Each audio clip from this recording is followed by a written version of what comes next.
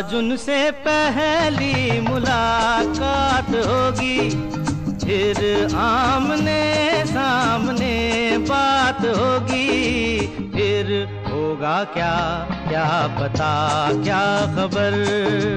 फिर होगा क्या क्या पता, क्या खबर? आज उनसे पहली मुलाकात होगी। फिर